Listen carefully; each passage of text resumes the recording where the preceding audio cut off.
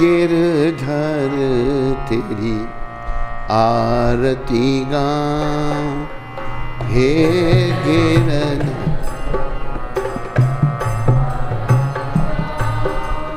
हे गिरधर तेरी आरती गाऊं।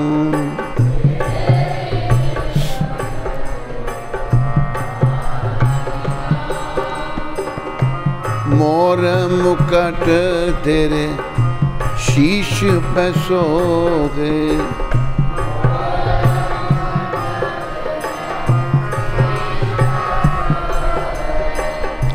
मोर मुकट तेरे शीश पे सोगे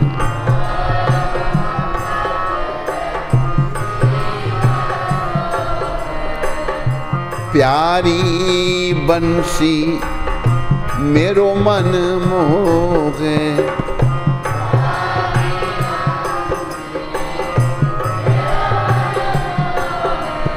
प्यारी बंसी मेरो मन मोगे प्यार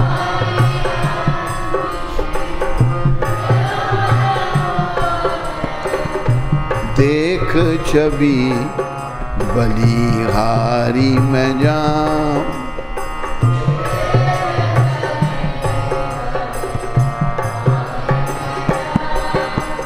देख छवि बलिहारी में जाऊँ।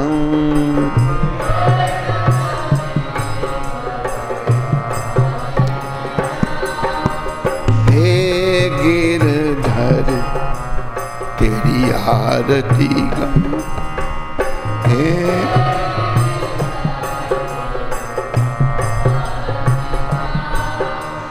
हे गिरधर तेरी आरती गाऊं।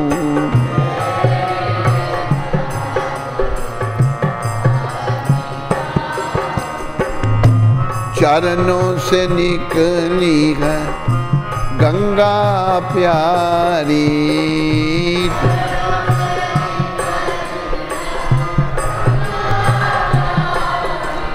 चरणों से निकली है गंगा प्यारी।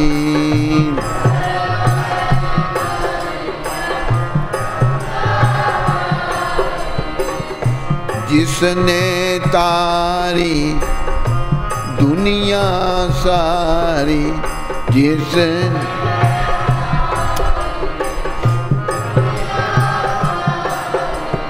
जिसने तारी दुनिया सारी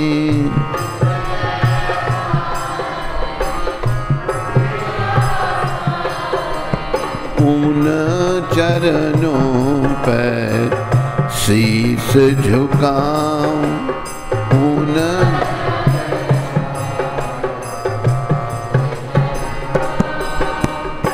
उन चरणों शीस झुकाऊं उन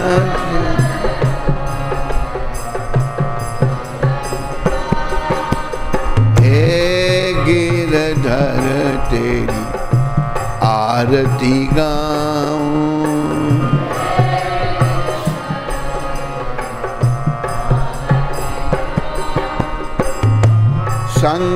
सोहे वृष बानु दुलारी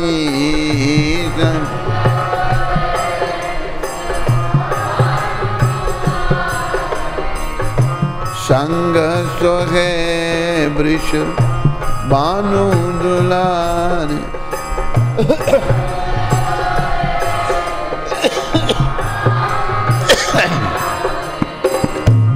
ललिता विशाखा सखियाँ प्यारी।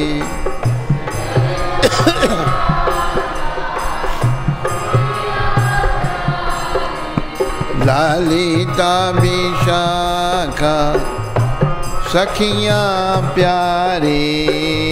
ललिता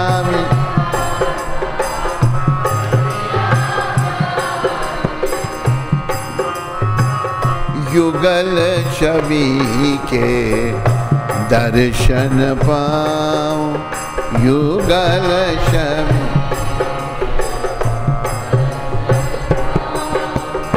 युगल छवि के दर्शन पाऊँ युगल छवि। दर्शन पाऊँ हे तेरी आरती गाऊं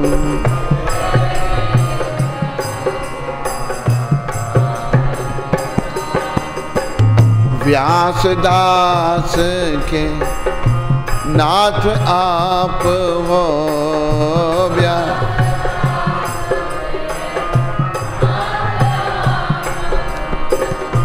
व्यास दास के नाथ आप हो।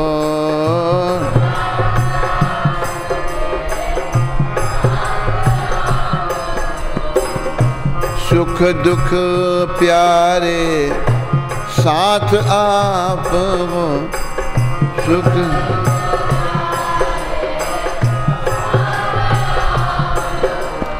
सुख दुख प्यारे साथ आप हो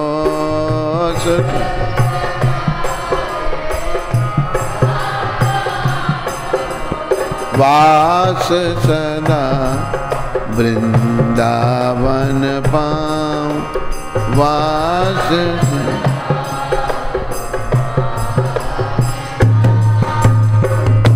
वास सदा वृंदावन पाऊँ।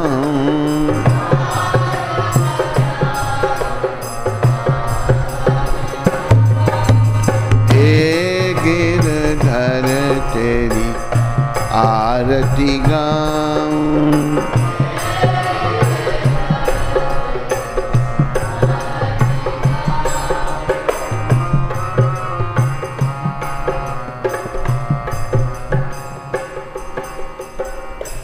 बोलो गिरिराज धरन की, बोलो गिरिराज भगवान की, बोलो मोर मुकुट बंसी वाले की। बोलो, भांके बिहारी लाल की। बोलो, जुगल जोड़ी सरकार की।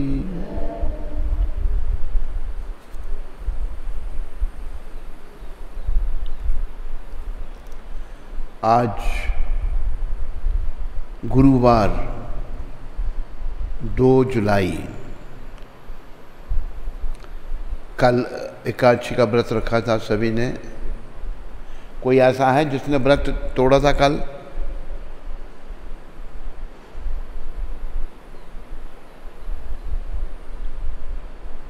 पार्थ, ध्यान रखना है सोए नहीं तेरे आगे। इसका ध्यान रखो कि सो जाता है ये। बैठा नहीं हो, सोया नहीं। तो आज व्रत का प्रायण होगा। पाँच पच्चीस से लेकर नौ चालीस तक। इसके बीच में अन्न चख लेना है, व्रत का प्रायण। और आइए अभी प्रभुपाद जी की शिला, प्रभुपाद शिक्षामृत थोड़ा पढ़ें, जो रोज़ पढ़ा जाता है। बहुत अच्छा है। जैसे ही कोई व्यक्ति किसी युवती के स्तन और उसकी कांख देखता है, वह बस खत्म हो जाएगा। और जब तक वह इनसे प्रलोभित होगा, उसे बार बार जन्म लेना पड़ेगा। ये वाशिंगटन 2 जुलाई उन्नीस सौ छिहत्तर में प्रभुपा जी ने कहा था।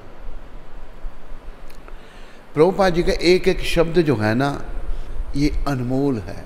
इसका को मूल्यांकन नहीं किया जा सकता। तो हमें प्रभुपा जी के शब्दों को अपने जीवन में धारण करना है।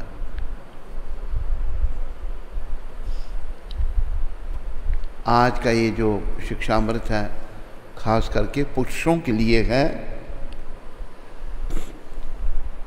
स्त्रियाँ भी ध्यान रखें, पुरुष भी ध्यान अगर कोई व्यक्ति, किसी युवती, किसी स्त्री के स्तनों को और उसकी कांख को देखता है प्रभुपद कहते हैं, वो खत्म हो जाएगा। स्त्री पर नज़र पड़ती है तो माँ का ध्यान करना है। क्योंकि हमारा जन्म माँ से हुआ, स्त्री से हुआ। स्त्री का सम्मान हमारे ग्रंथों में बताया, भगवान चैतन्य महाप्रभु ने बताया, और कृष्ण भगवान ने भी बताया, सबसे महान स्त्री राधा है। राधा जी का इतना दिव्य भाव भगवान के प्रति, बड़ा सुंदर चित्र एक वृंदावन में था, वो वहीं रह गया। राधा जी के भाव पर भगवान, त्रिलोकीनाथ, सर्वेश्वर सब कारणों के कारण सबके स्वामी अंतर्यामी राधा जी के चरण को सर पर लगा के रो रहे हैं भगवान। कितना सम्मान स्त्री को है। और मैंने पहले भी ये बात सुनाई, जब भगवान ने संन्यास ले लिया था तो शिला नित्यानंद भगवान उनको, भगवान वृंदावन जा रहे थे, राधा भाव वृंदावन। वृंदावन का जो राज्य है, वो राधा रानी का है, वृंदावनेश्वरी। अभी कृष्ण राधा भाव में है, चैतन्य रूप में। वृंदावन की ओर वृंदावन जाना है। हमारे गुरु महाराज भी ऐसे थे। बताते हैं उनकी लीला अमृत में। जहाँ वो प्रकट हुए, उनके घर के पास रेल जाती थी, रेलवे ट्रैक था। कहते जब भी रेल आती, मैं छत पे चढ़ जाता था। देखता था कि वृंदावन को कौन सी रेल जा रही है। ये भाव है। तो भगवान गौर हरि, कृष्ण राधा भाव में बस वृंदावन जाना चाहते हैं। लेकिन यहाँ प्रकट हुए थे नवद्वीप में भगवान प्रकट हुए थे। ब्रजवासियों की बुरी हालत होगी धामवासियों की हालत खराब होगी भगवान के विरा में। सच्ची माता विष्णुप्रिया माता, सारे धामवासी भगवान के बिना में कातर हो गए, रो रहे हैं, पागल हो गए। तो नित्यानंद भगवान जब आए तो सची सची माता जड़बत पड़ी है। कोई शरीर की सुध नहीं है। माता कहती हैं, और भी भक्त लोग भगवान संन्यास ले चुके हैं कि अभी आप लोग निमाई की सब चीज़ों को बांट लो। मैं नहीं रहूँगी, निमाई चला गया। तो नित्यानंद भगवान ने कहा माता मैं भी तो तेरा बेटा हूँ। मैं तुम्हें वचन देता हूँ, और जहाँ भी होंगे मैं तेरे पास लाऊँगा उनको। तो भगवान काटवा में थे।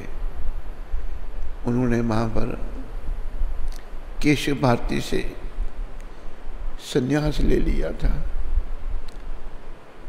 बड़ा भाव है भगवान का। क्या भाव था?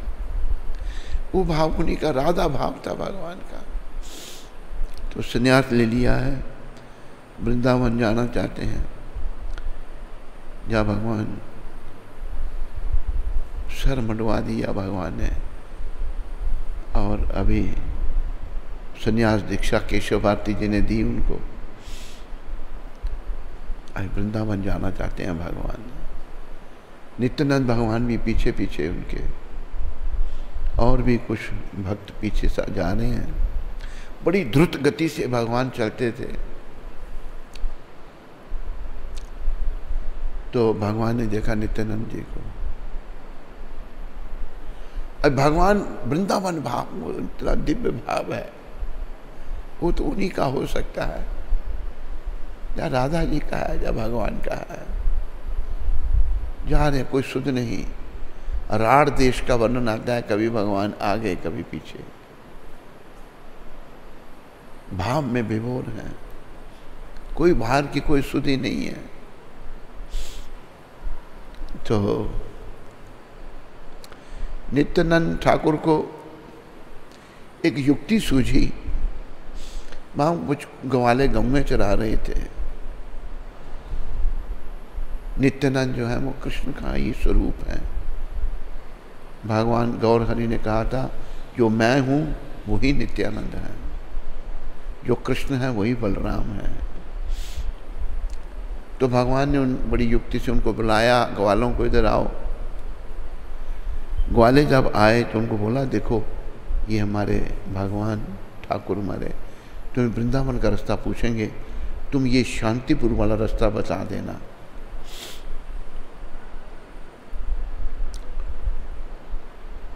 तो वही बात हुई। भगवान ग्वालों को पूछते हैं, वृंदावन को कौन सा रास्ता जा रहा है? तो उन्होंने शांतिपुर वाला बता दिया, भगवान शांतिपुर की ओर ही चल पड़े। इतना भाव है। तीन दिन तक राड़ देश में ही भगवान घूमते, बिना खाए पिए, इतना भाव आहा आगे शांतिपुर की ओर, आगे वहाँ पर। तो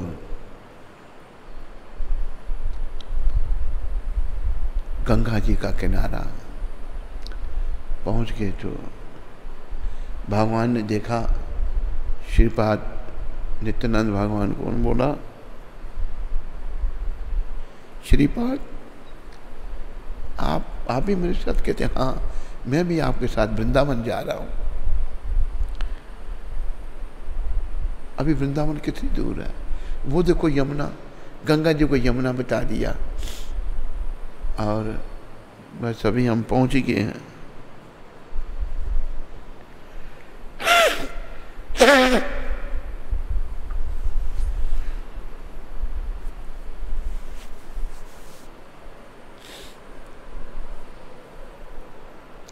भगवान ने कपड़े पहने। क्या कपड़े हैं? बस ऊपर का बहिर्वास है। कपड़ों के साथ ही गंगा को यमुना से उसमें कूद गए। स्नान करके बाहर आए। इतनी दिन में इधर से भेज दिया था। नित्यानंद प्रभु, नित्यानंद भगवान ने चंद्रशेखर को, अब जाओ, वहाँ से अद्वैताचार्य को बुला के लाओ। अद्वैताचार्य नौका में आ गए। आगे तो देखा अद्वैताचार्य ने अपने भगवान को देखा।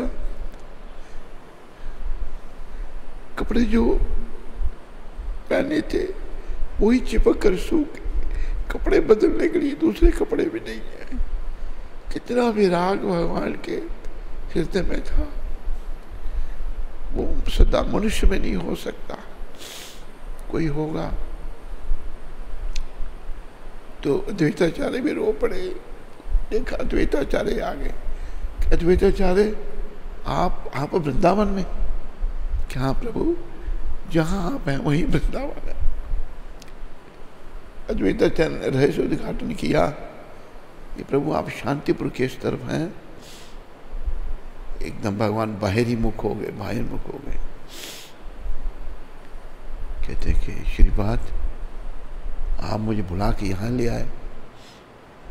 भगवान को उनको लाना बड़ा ज़रूरी था, क्योंकि बुरी हालत थी सभी धामवासियों की, भगवान की विराम में नौका में बैठे हैं।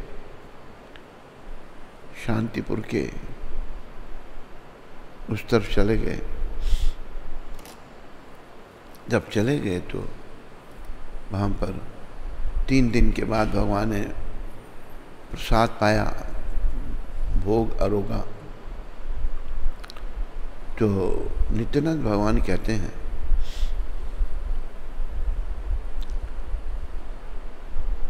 पूछते हैं अपने आराध्य देव गौर भगवान को कि हमने तो तीन दिन के बाद यहाँ भोजन पाया ब्रिजवासी, धामवासी सब आपकी विराह में रो रहे हैं, दिन रात रो रहे हैं। मैं उन सबको बुलाऊं, भगवान का बुलाओ। फिर नित्यानंद प्रभु ने विष्णु प्रिया माता को इंगित करके कहा, सबको बुलाऊं कितने एक को छोड़कर विष्णु प्रिया को नहीं। बड़ी लंबी कथा है, पर मैं माँ का स्त्री के सम्मान की बात बता रहा हूँ, यही प्रसंग है आज का। तो नित्यानंद भगवान, बड़ी लंबी बात है, मैं संक्षेप में सुनाने का प्रयास कर रहा हूँ। सच्ची माता को लेने गए विष्णु प्रिया भी चल पड़ी, मना कर दिया उन्होंने। तो सच्ची माता कहती, मैं भी नहीं जाऊँगी। नहीं तो विष्णु प्रिया कहती हैं, वो दुखी हो जाए कि आप जाओ। माता दौड़ पड़ी शांतपुर की ओर। तब नित्यानंद भगवान ने कहा, माता, आपके लिए डोला आ रहा है। आप रुकिए। डोली आई उसमें माता को बैठाया और पहुँच गए शांतिपुर में। शांतिपुर में जब पहुँचे तो भगवान ने माँ को देखते ही दंडवत प्रणाम किया। एक त्रिलोकीनाथ स्त्री का कितना सम्मान कर रहे हैं। ये याद रखो, भगवान का कोई माता पिता नहीं है। वो अपने भक्तों को माता पिता बनाते हैं, जो उच्च कोटि के भक्त हैं। दंडवत प्रणाम जब किया, भगवान को भगवान अपना गौर हरि ने सच्ची माता को और फिर प्रदक्षिणा की मांग की। प्रदक्षिणा करके हाथ बाँध के खड़े हो गए। माँ कहती है, निमाई, ये क्या किया तूने? उस अबला को मेरे माथे मड़ के आ गया और संन्यास ले लिया। वात्सल्य भाव है माँ का। अभी मैं तेरे को जानती हूँ कितने नखरे करता था, ये खाऊँगा, ये नहीं खाऊँगा। अभी कौन खिलाएगा तेरे को? माँ का बाप देखो। माँ जो है, बड़ी दयालु होती है। तो भगवान सची माता के भाव में इतने खो गए कहते हैं माता, ये शरीर तेरा दिया हुआ है। माँ के पेट में ही बच्चा बनता है। माँ का सम्मान सबको करना चाहिए। यानी कि स्त्री का सम्मान। स्त्री हमारी माँ है। तुम कहोगी कि संन्यास छोड़कर घर चल, मैं चल पड़ूँगा। यहाँ तक भगवान ने कहा, लेकिन भगवान जानते थे कि मेरी माँ ऐसा नहीं कहेगी। मेरी माँ ऐसा नहीं कहेगी। तो स्त्री का सम्मान, स्त्री को कुभाव से नहीं देखना, स्त्री को माँ के भाव से देखना। यही, अगर हम स्त्री को देखते हैं कुभाव से तो प्रभुपाद कहते हैं, मैं खत्म हो जाएगा, आवागमन में चला जाएगा वो। खत्म होने का तो आवागमन में। और जब तक वह इनसे प्रलोभित होगा, उसे बार बार जन्म लेना पड़ेगा। जो स्त्री से आकर्षित होता रहेगा, उसको बार बार जन्म लेना पड़ेगा। ये बात स्त्रियों के लिए भी है। ये नहीं पुरुष ही स्त्री की ओर आकर्षित है। पुरुष अपनी जो दूषित भावना है उसको व्यक्त कर देता है। स्त्री के अंदर भी दूषित भावनाएँ होती हैं, वो व्यक्त नहीं करती। भारत की नारी तो बड़ी महान रही, लेकिन विदेशी नारियाँ बड़ी बेशर्म हैं, बेशर्म। और हमने अपनी आँखों से देखा, स्त्रियों को क्या उनका जीवन बताएँ। तो हमें स्त्रियों का सम्मान करना है जो प्रभुपाद शिक्षा दे रहे हैं। यही गुरुकुल में बच्चों को शिक्षा दी जाती थी।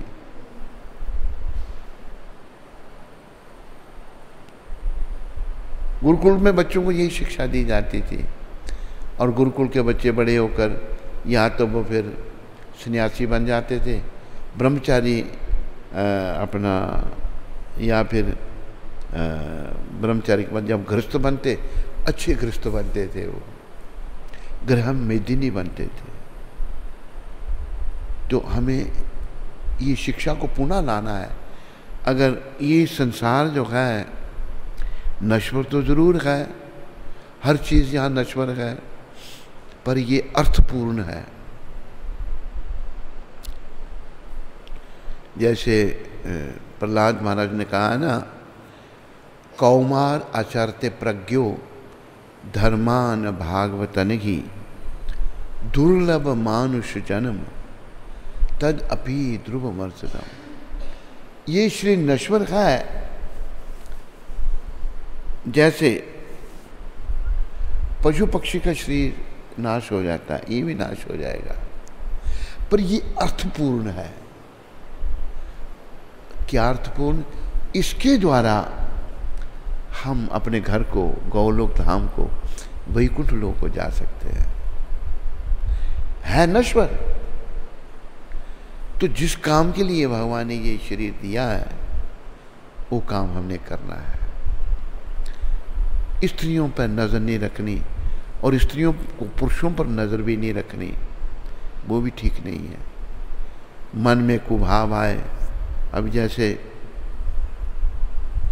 एक ने हमको बताया, बड़ा अफसर था वो। अफसर था तो उसका पड़ोसी जो था, वो भी उससे छोटा अफसर था, उसके अधीन होगा या बराबर का होगा तो कहीं पड़ोसी चला जाता था। ये जो बड़ा अफसर था, इसने विवाह नहीं किया था। उसका पति चला जाता था तो वो खुद मुझे उसने बताया। वो पति होते हुए स्त्री आती इस बड़े अफसर के पास और माचस मांगती, मुझे माचस चाहिए, मानना कुछ ना कुछ चाहिए ना। जो माचस जब देता माचस तो हाथ पकड़ लेती थी उसका। अपना कुभाव व्यक्त कर रहा इस बड़े अफसर के भी स्त्री से संबंध हो गए, जब उसका पति आ गई है। ये आजकल आम हो रहा है। ये सब नर्क का द्वार है, जो गुरु महाराज ने यहाँ कहा है। ये नर्क का द्वार है। फिर जीव को पता नहीं करोड़ों साल लगे करोड़ों जन्म लगे अभी पता नहीं कितनी मुश्किलों से हम इस शरीर में आए हैं। तो ये भी आम हो रहा है। हमने बड़े नगरों में देखा स्त्री बेशर्म है। अभी एक स्त्री हमें मिली। वो हमें कहती है, ये विषय वासना कैसे खत्म हो? एक सन्यासी को उसका कहने का मतलब क्या है? कुभाव अच्छा भाव नहीं। अगर भगवान की सुरक्षा नहीं हो, ये सोचे रही बस अपना भाव व्यक्त कर रही है। कुभाव व्यक्त कर रही है। सन्यासी को कहने का मतलब ही कोई नहीं है। तो हमने भगवान के पास जाना है। भगवान के पास जाने के लिए स्त्री को माँ की नज़र से देखना है। चाहे प्रभुपाद ने ये कहा, चाहे वो छोटी उम्र की है या बड़ी है, स्त्री है वो, उसको माँ की दृष्टि से देखना है। बुरे भाव से नहीं देखना। प्रभुपाद कहते हैं, फिर से मैं पढ़ता हूँ, ये बड़ा ज़रूरी है। जैसे ही कोई व्यक्ति किसी युवती के स्तन और उसकी कांख देखता है, वह बस, कांख का कोई मतलब जानता है? हिंदी में लिखा है। कांख का कोई मतलब जानता है? है? ज़ोर से बोल।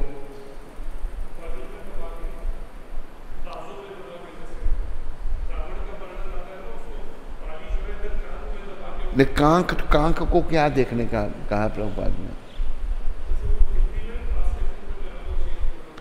ट्रांसलेशन में। हाँ।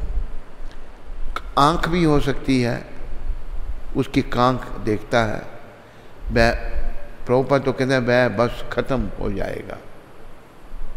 अब एक बात मैं प्रभुपा जी की आपको बताऊँ। प्रभुपाद बड़े ही विलक्षण संत थे बड़े बड़े महान थे। आ, ये रिकॉर्डिंग मैंने सुनी है। वहाँ पर प्रभुपाद ने लेक्चर किया। एक स्त्री कहती है, मैंने आपसे शादी करनी है। प्रभुपद को कह रही है। प्रभुपद कहती है आई कांट मैरी आई में सन्यास। जो जानते हैं कितनी बेशर्म औरतें हैं। पीछे ही पड़ गई वो प्रभुपा जी वहाँ अस्सी अस्सी साल के बुढ़े शादियाँ करते हैं।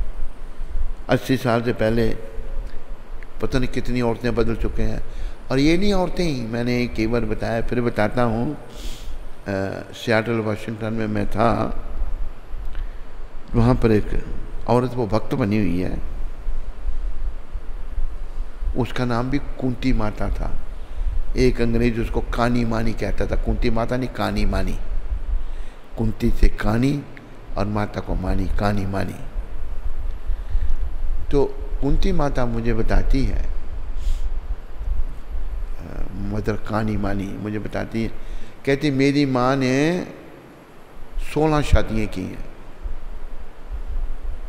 अभी स्टार में खसम ढूंढ रही है, स्टार में किससे करनी है? ये लोग शर्म नहीं करते, अपना उल्टे सीधे काम बता देते हैं। फिर मैं एक बार शिकागो में घर में लेक्चर कर रहा था। तो मैंने कहा, किस देश में तुम रहते हो? एक स्त्री बता रही है कि मेरी माँ ने सोलह शादियाँ की हैं। तो जिस घर में सत्संग था, उसका घर का मुखिया कहता है, कहते, स्वामी जी, ये आपकी सूचना पुरानी है। एलिजबेथ टेलर ने सताईस शादी की हैं और अट्ठाईसवा खसम ढूंढ रही है। ये है वहाँ की औरतों का हालत। वही यहाँ भी हमारे नेताओं ने, जिन्होंने साठ साल तक भारत पर राज किया, सारी विदेशी आदियाँ घुसेड़ी, बड़ा खिलवाड़ किया इन लोगों ने। लेकिन फिर भी मैं कई बार कहता हूँ बार बार कहता हूँ, अभी भी कहूँगा, कृष्ण भगवान का बड़ा शुक्र है, उन्होंने ऐसे महापुरुष भेजे, प्रभुपाद जी जैसे, जिन्होंने सनातन धर्म की पुनः स्थापना कर दी, और जिनकी ओर हम आकर्षित हैं, उनको भक्ति में लगा दिया। तो प्रभुपद कहते हैं वह खत्म हो जाएगा। और जब तक वह इनसे प्रलोभित होगा, स्त्री की ओर अगर आदमी आकर्षित रहता है, उसे बार बार जन्म लेना पड़ेगा। एक बार थोड़ा अनेकों जन्म लेने पड़ेंगे बार बार तो ये बड़ी ज़रूरी बात है, साहब, इसका ध्यान रखो। आज मैंने कुछ और आपको सुनाना था प्रभुपत कृपा से प्रसंग ये आ गया।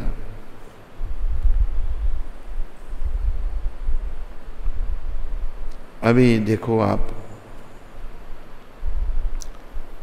भक्ति करो अच्छी तरह से। सारी माताएँ, सारे बच्चे और सारे बड़े जितने भी हैं, भक्ति करो। अंदर बड़ा गंद जम गया है। जो संत होते हैं, वो आत्मदर्शी, उनको आत्मा परमात्मा का ज्ञान है।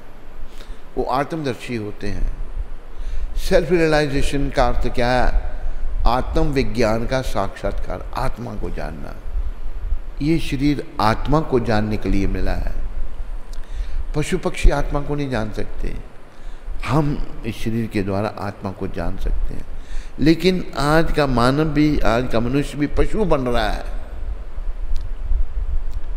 क्योंकि एक जिन्होंने साठ साल राज किया, उन्होंने इस संस्कृति का तहस नहस कर दिया।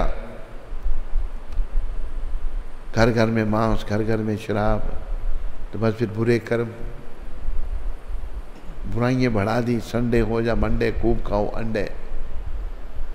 सुअर पालन बढ़ा दिया, जानवरों को मार के खाओ। बड़ी बुरी हालत कर दी।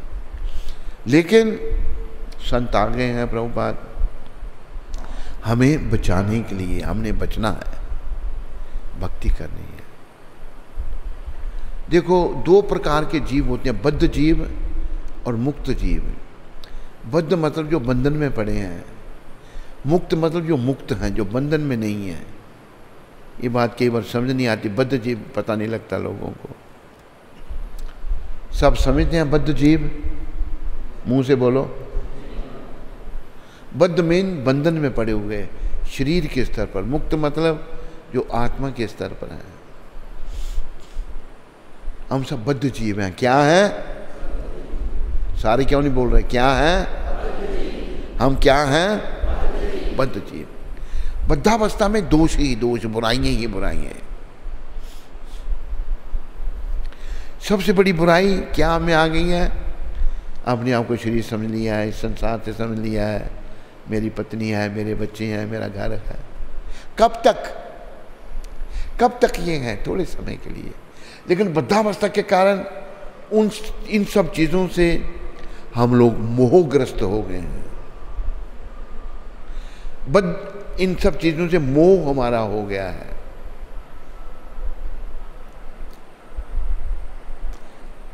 और सच्चाई को भूल गए हैं। सच्चाई क्या है? ये मृत्यु लोक है। यहाँ कोई सदा के लिए नहीं रहेगा। कोई भी यहाँ परमानेंट नहीं रहेगा। सबको यहाँ से निकाल दिया जाएगा। आज नहीं तो कल, परसों नरसों दस साल, बीस साल, पचास साल, साठ साल, सत्तर साल के बाद हम से कोई नहीं होगा। लेकिन ये किसी को ध्यान में नहीं आ रहा। बद्ध जीव हो गए ना, दूषित हो गए। इसलिए बच्चों को गुरुकुल में पढ़ाया जाता था। शुरू से आत्मा परमात्मा का ज्ञान करवाया जाता था। गुरुदेव निष्काम भाव से पढ़ाते थे कुछ लेते नहीं थे बच्चों से। खाली जब शिक्षा पूरी हुई तो वो कुछ गुरु दक्षिणा देते थे। वो भी भगवान पर निर्भर थे गुरु आ, के भगवान पालन सबका करता हमारा भी करेगा। तो बद्धावस्था बढ़ती जा रही है। लोग दूषित होते जा रहे हैं, लेकिन हमने बद्धावस्था से मुक्तावस्था की ओर जाना है। आत्मा के स्तर पर आना है। एक घटना घटी है सूरत गुजरात में। कब कल घटी है? नहीं। सो रहा है तू? कब घटी है घटना सूरत वाली? सुनाई नहीं। तीन दिन पहले घटना घटी। कितनी उम्र होगी उसकी? बाप की? तीस साल तीस साल का बाप सड़क के ऊपर अपने बेटे से खेल रहा है। क्या है? बेटे को बॉल फेंक रहा है और बच्चा जो है, क्रिकेट खेल रहा है ना। क्या हुआ? माँ सीसीटीवी जो है ना, जैसे ये लगा है हमारे टीवी कैमरा लगा कैमरा सब रिकॉर्डिंग कर लेता है ये। कैमरे की रिकॉर्डिंग दिखाई है। जिस किसी को देखनी हो तो संजय के पास देख सकता है। क्या रिकॉर्डिंग दिखाई?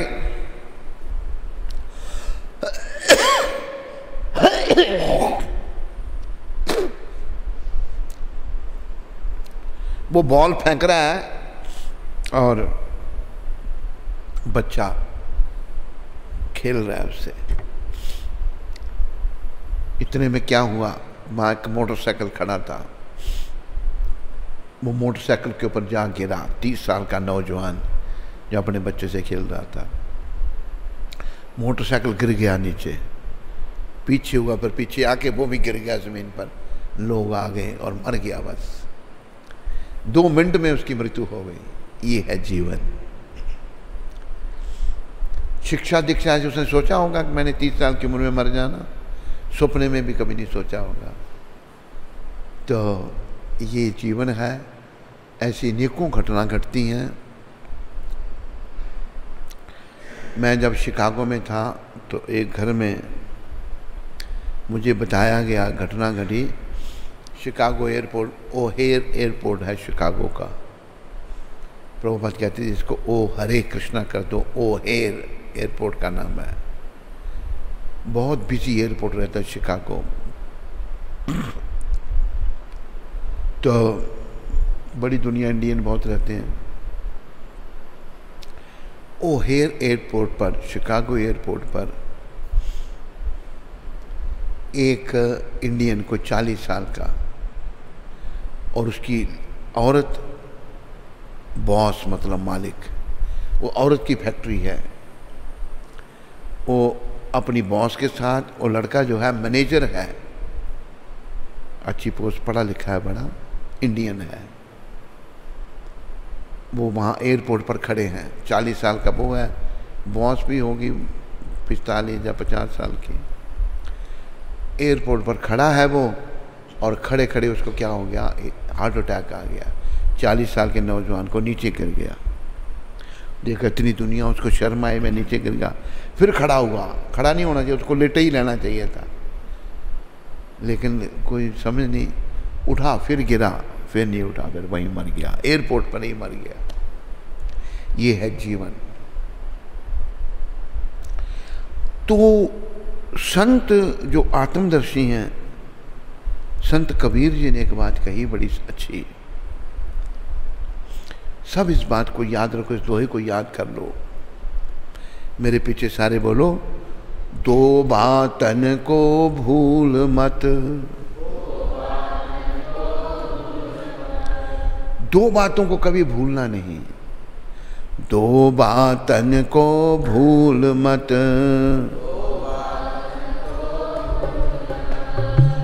जो चाहत कल्याण। हे प्राणी अगर तू अपना भला चाहता है, कल्याण चाहता है, संत कह रहे हैं, कबीर जी महाराज कह रहे हैं, दो बातों को कभी नहीं भूलना। कौन कौन सी बात? नारायण एक मौत को नारा। दूजे श्री भगवान। जैसे एक आदमी बात हम सुनाते हैं, यहाँ आया हमारे पास। उस मंदिर पर ही इस जगह पर ही कब्जा करने लगा वो। क्यों इतना संसार में वो खोया होगा दुष्कर्मों में खोया होगा? ये भूल गया कि मैंने भी मरना एक दिन। अरे मैं मंदिर की प्रॉपर्टी को मैं अपने नाम करके क्या करूँगा? लेकिन पागल है दिमाग खराब है। उसका बाप भी पागल है। बाप कहता है तुम वापस क्यों आ गया? तूने उधरी रहना हम भी पिछ, पिछले दरवाजे से हम भी आ जाते। ये समझ लोगों की। वो भूल गया कि मैंने मरना है। तो संत कहते हैं, दो बातों को कभी मत भूलना। अब जैसे किसी ने मंदिर के नाम पर दिया, घर भेज दिया, घी, गेहूँ, घी घर भेज दिया ये नहीं कि मैंने मरना है। भगवान की दो भगवान को दो। घर वालों से मोह है, काम से क्रोध क्रोध से मोह। मोह निरंतर संसार में बना रहता है।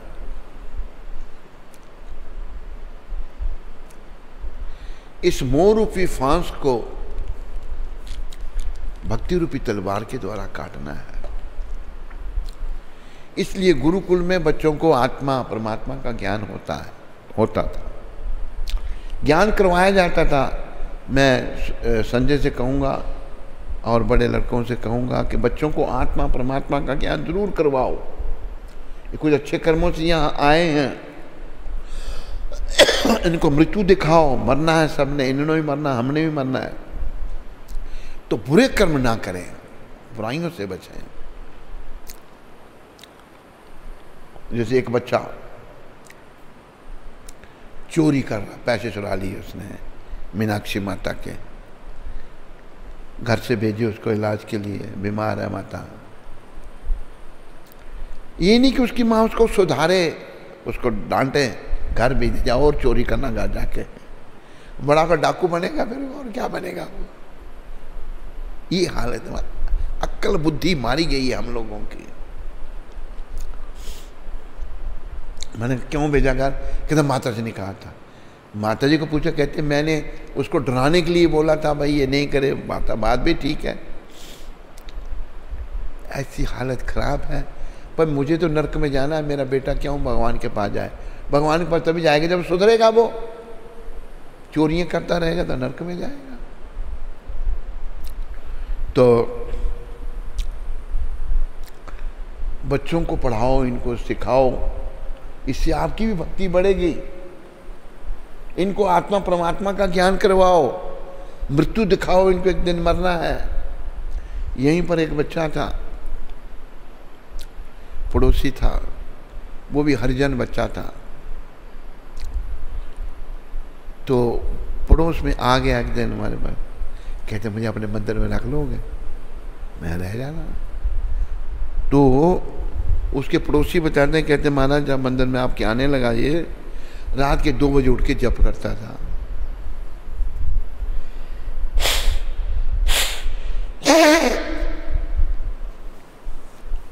बड़ा उसका नाम था परशुराम। बड़ा भाव उसका। तो आने लगा, जप करे। आखिर हुआ क्या उस बच्चे की मृत्यु होगी बेचारे की। मर गया या मार दिया गया। क्योंकि इधर किसी के पास नौकर था वो तो वो मंदिर में नहीं जाना। उसके माँ बाप भी उसको कहें, वो आता रहा, फिर उसको पकड़ के ले गए बेचारे को, मार दिया। पुलिस में भी एक कश्मीरी पंडित एसपी था लोकल। उसने कुछ माल वगैरह खा लिया कुछ नहीं किया उसने। पंडित ही था ना वो। तो ये कहता है, मैंने भी मरना अभी। परशुराम मर गया, मैं नहीं मरना। याद है नहीं तेरे को? तो ये क्या क्या जीवन है? बच्चा ही मर गया बेचारा। कितनी उम्र होगी उसकी? है? छोटा था बेचारा। तो क्या जीवन का भरोसा है? बच्चे भी मर सकते हैं, बच्चों को ये नहीं सोचना चाहिए हम नहीं मर सकते। अगर तुम लोग भक्ति नहीं करोगे तो भाई यमदूत ले जाएँगे पकड़कर मार मार कर दुर्गति कर देंगे। ये शिक्षा ही कहीं नहीं है। बड़े लोग बच्चों को ये शिक्षा दें, उनको आत्मा, परमात्मा का ज्ञान करवाएँ, बुराइयों से ये बच्चे बचें, ताकि इनको यमदूत ना ले जाएँ, आकर में विष्णु दूत आए, भगवान ले जाएँ इनको अपने धाम में। तो ये घटना आपको सुनाई? गुजरात की अभी तीन दिन पहले की घटना। बॉल फेंकता फेंकता गिर गया, मोटरसाइकिल के ऊपर गिरा पीछे हुआ, फिर वो ज़मीन पर गिर गया, लोग कटे हो गए, मर गया एक वीडियो से मंगवा रघुनंदन से, तेरे पास है या नहीं? एक सरदार जी अमेरिका में लेक्चर कर रहे हैं, वो है तेरे पास नहीं? तेरे पास है? उसने रघुनंदन ने, रघुनंदन जो वहाँ पर है, वृंदावन में उसको ने वीडियो मेरे को भेज। उसको भी शेयर करो। सरदार जी हैं, ग्रंथी तो बैठे हुए हैं, वो प्रवचन कर रहे हैं। प्रवचन करते करते मृत्यु हो गई। हाँ तेरे पास है? सेव करने चाहिए ऐसे लोगों को एजुकेट करो, उनका भी जीवन अच्छा हो। हाँ तो बात करते करते मर गए बेचारे, मृत्यु हो गई। तुम लोग सोचा अमेरिका में आके हम अमेरिकन बन गए हैं, ये हैं। लेट के वहीं पर, एक मिनट में। तो ऐसे लोगों को उनमें अवेयरनेस ना हो, उनको जागृत करो, उनको बताओ इन बातों के बारे में। ये मनुष्य जीवन बड़ा अनमोल है। ये बार बार नहीं मिलेगा। खुद समझो, दूसरों को समझाओ, इससे भगवान बड़ा खुश होंगे, कृष्ण प्रसन्न होंगे। बोलो, गिरिधर भगवान की। तो सब प्रभुपात कृपा से हमने कहा अब सब इसका पालन करो, इस पर चलो और अपने जीवन को सफल करो। आने वाले कल का ध्यान रखो। कोई प्रश्न है? प्रश्न है कोई नहीं। आज तो कमाल ही हो गया। यहाँ तो नहीं किसी को कोई प्रश्न। तेरे को आ कोई प्रश्न? तेरे को ऐसे कर रहे हैं।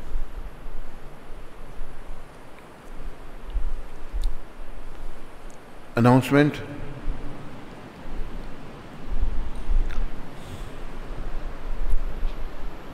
हरे कृष्णा तो परसों गुरु महाराज ने नरसिंह भगवान का नाटक देखा था, जो मीनाक्षी माता के डायरेक्शन में हुआ था। तो गयाना से प्राण गोपाल प्रभु ने नाटक कंपनी के लिए अपनी सेवा भेजी है। तो उनका और उनके परिवार का शिला प्रभुपाद आश्रम उधमपुर के सभी भक्तों की ओर से बहुत बहुत धन्यवाद। किसकी सेवा आई है ये?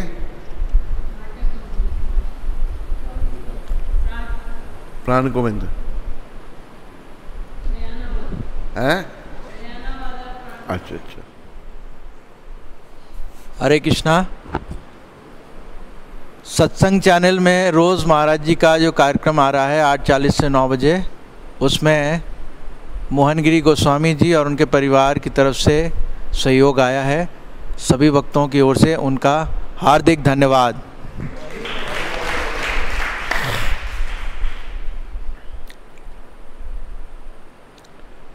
स्कंद पुराण में